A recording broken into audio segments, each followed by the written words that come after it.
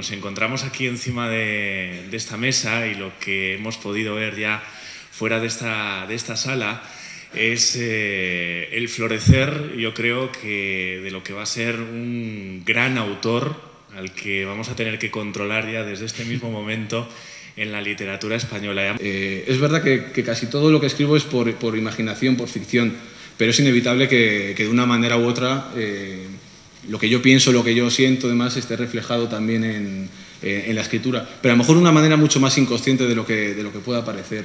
La ubicación de, de, de la obra no juega un papel fundamental y, y pretendí que no fuera así. Pero sí que me apetecía tener un guiño con Segovia y aunque Segovia pasa de, largo porque es el punto de partida de la historia, luego se va a un pueblo ficticio cántabro, pero sí me, gusta, sí me apetecía que tuviera una mención a Segovia porque al fin y al cabo es, es, la ciudad donde vivo, donde nací y en la que muy a gusto además. Entonces era un pequeño guiño literario. Digamos que fue el punto de partida a nivel público para mí de, la literatura, porque eh, hasta entonces había escrito pues, cosas en el blog y demás, pero a la gente le sorprendió que de repente eh, conocieran que yo escribía. Eh, Monteviela no existe, tienes razón, eh, es un pueblo inventado. Cuando yo empecé a escribir, reconozco que el primer, el primer capítulo me salió solo y lo escribí sin, sin ninguna estructura de decir qué viene después.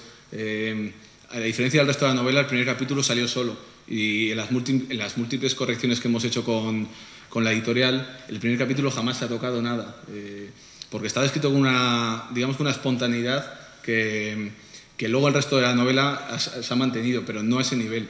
Respecto a, respecto a, la época, em, me gusta, eh, quería que tuviera un tono ciertamente nostálgico.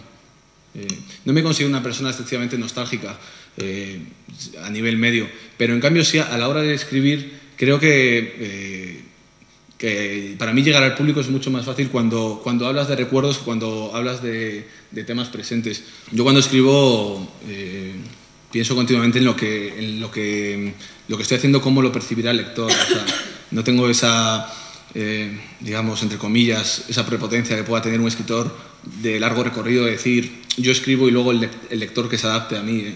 A mí no me pasa, quizá porque estoy empezando y, me interesa que esto guste, no, no, me vale con escribirlo si, si luego al público no le llega eh, lo, que, lo que he intentado transmitir.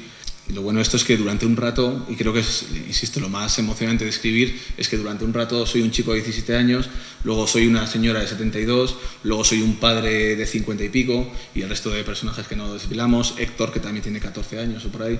Eh, creo que al fin y al cabo, yo creo que ser escritor te conviertes un poco en un actor de palabras yo no he una vez que lo he acabado, no he querido leerlo porque yo cada vez que la leía cambiaba algo.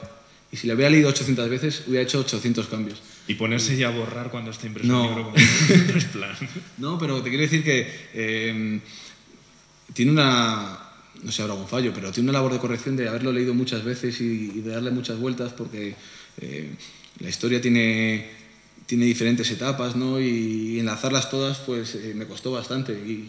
Pero creo que se han dado demasiados factores para que, así a las primeras de cambio, que el primer libro, el primer concurso haya salido así, pues también creo que tiene un factor de, de suerte o de estar en el momento adecuado, en el lugar adecuado. Yo soy un optimista nato, pero no uno de estos optimistas de, de frase de todo va a ir bien y demás. O sea, eso para mí es palabrerío. Pero sí que creo en que eh, las cosas te pueden salir o no, pero si tienes tolerancia al, iba a decir al fracaso, pero no es un fracaso tampoco, no te la diten, pero a la negativa, eh, creo que aumentan las posibilidades de que, puedas, de que te puedan ir bien las cosas.